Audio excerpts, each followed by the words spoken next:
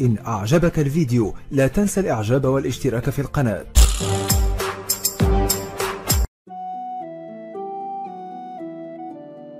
طلبت الفنانة درة ووسائل الإعلام ورواد مواقع التواصل الاجتماعي بالتوقف عن انتقادها والتدخل في حياتها الشخصية لافتة إلى إصابة والدتها بوعكة صحية مفاجئة. ونقلها إلى المستشفى بعد الأخبار المتداولة منذ إعلان زواجها. بسبب خروج الزوجة الأولى لزوجها رجل الأعمال هاني سعد عبر مواقع التواصل الاجتماعي وهي تقول إنها لم تنفصل بعد عنه.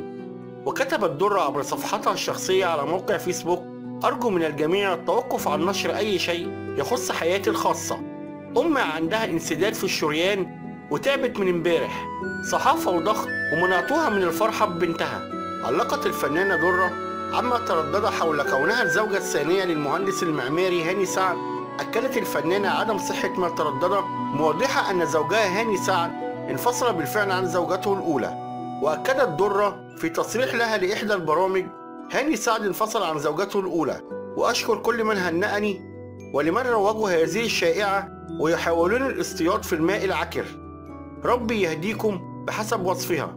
وتابعت الفنانة درة كل شخص حر في حياته الشخصية وحر في اختياراته.